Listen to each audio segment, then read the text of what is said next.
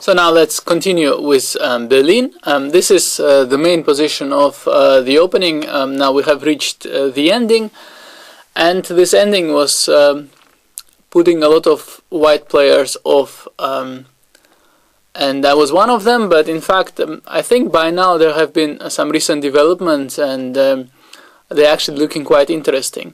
So the latest trend here is h3 uh, the reason uh, for this move is um, as opposed to uh, to the old continuation or to the old main continuation knight c3 is a slight gain in flexibility. Uh, white knight will be able to uh, develop to d2 under favorable circumstances.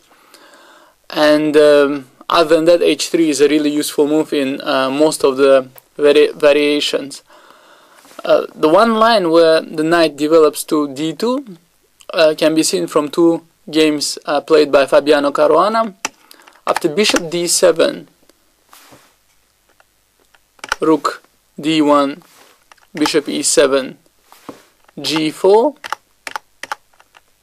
white plays knight d2, and um, it's clear that uh, now it's more or less the ideal position for the white knight coming to f3 or to e4 and um, in uh, both of these games the following position was reached and now I played rook uh, d3 uh, which is a really difficult move uh, to find. Uh, the rook is uh, supporting um, the knight on f3 and the pawn on h3 but this is of course not the only um, not the only reason for this move. The other uh, is the tactical justification, which we will see after we make the natural move h5. And now bishop g5 works, and now the rook, the other one, joins uh, the action on d1 or e1, and um, in fact this becomes uh, very tactical. Uh, now after f6 this actually looks uh, good for black um, optically, but then after takes, takes, rook d1. Uh, black, in fact, cannot uh, maintain his um, uh, his stability in the center, and the bishops they start um, they start to hang quite badly along the e file and the d file. So. Um, this is a tactical justification, and um, otherwise white uh, plans to continue with bishop g5, and it seems that black is having uh, some problems in this position. I mean, Grischuk played h6 here, knight d4, rook e8, bishop f4, c5, knight f5, bishop f8, and uh, looked uh, to be um, in control, um, although in a slightly passive way. And um, I guess that white could be uh, pressing in this endgame. Um, in a later game uh, against Caruana, Negi tried c5, bishop g5, c4, but this did not look positionally very sound, and after rook d4 and king h2, uh, White actually got a very serious advantage and went on to win a very nice game. So, in this line, of course, uh, one has to analyze it further, but at least it seems that uh, at the moment uh, the trend is definitely favoring white, and most of the players after h3 they play king e8 and after knight c3 this transposes back into the main line having um, thus limited black's options.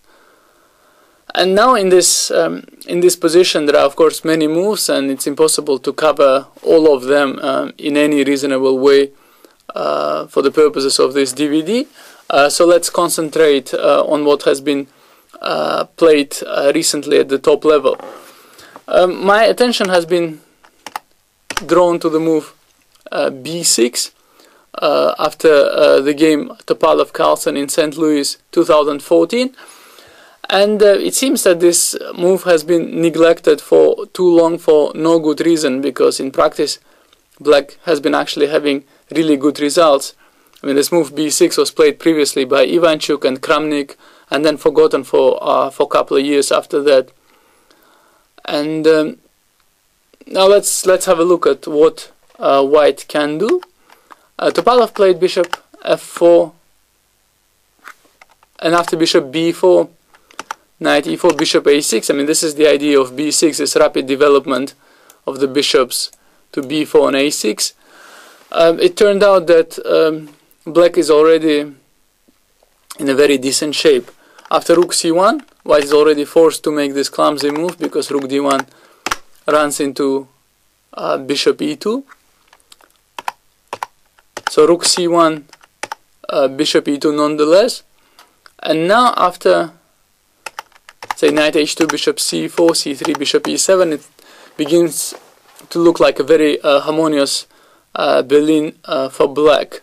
So Topalov played knight fd2 instead bishop takes d2 knight d2 knight d4 and now with opposite colored uh, bishops and uh, slightly clumsy structure uh, or slightly clumsy setup of white's pieces uh, white has nothing better than repeat moves after bishop e3 and bishop f4 which is actually what happened in the game. And um, and um, this being said it's also difficult to suggest something better for white after b6 uh, Vishy Anand tried rook e1 against Ivanchuk uh, some years ago but also this um, ran into bishop b4 and um, uh, in fact, uh, once black manages to pin the knight on c3, it's clear that white will have to play the opposite colored uh, bishop's position. Bishop d2, bishop e6, g4, knight e7, and after some uh, natural play, uh, black actually had zero problems in the game and uh, managed to draw quite comfortably. So this was um, not a solution either and I'm uh, wondering what uh, white can do after b6 at all. Probably rook d1 uh, is the continuation uh, to be analyzed further. Uh, white is um, stepping out of bishop a6 uh, with tempo, making it um, less effective. And now after bishop b7, this is a generally played move.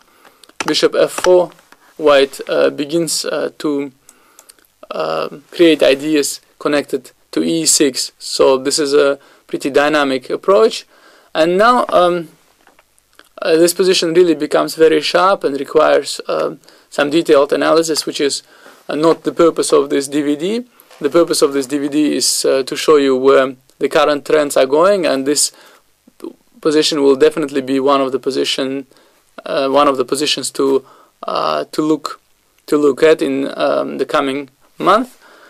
And um, here it seems that whatever black does, white has some dynamic possibilities connected with e6 and um, it is uh, quite possible that um, um, something along these lines uh, could pose problems for black.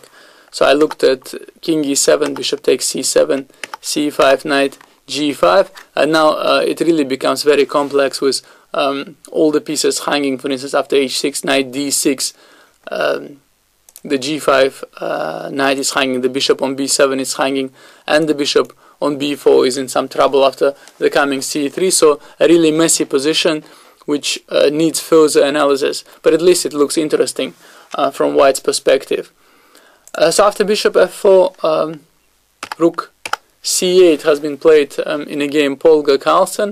It was a rapid chess game uh, some years ago and uh, in that game uh, white played a4 and um, I'm not sure if this is the best approach. I wonder if for instance e6 is also reasonable here. And uh, I figure that after f takes e6 knight g5 or rook e1 uh, white actually has uh, some decent pressure for the sacrificed pawn. And okay the sacrificed pawn will be won back pretty quickly. Uh, Carlsen's idea was most likely bishop d6, e takes f7, king takes f7 and um, I wonder if uh, somewhere around here white can actually be um, a bit better but uh, this might actually require some some more analysis but at least it seems that black's choices are not um, not as easy as one would think, but definitely looks like a line um, to pay attention to. And uh, I would suggest White to look at all these e6 connected possibilities. Seems like this could be interesting stuff. And um, of course, there is um, apart from b6, there is a, a main line. Now, this combination of the moves h5 and king e8 for black as the response to knight c3 h3 uh, became uh, more or less uh, the way for black to handle the Berlin and um, now let's take a look at um, what white can do after that in our next video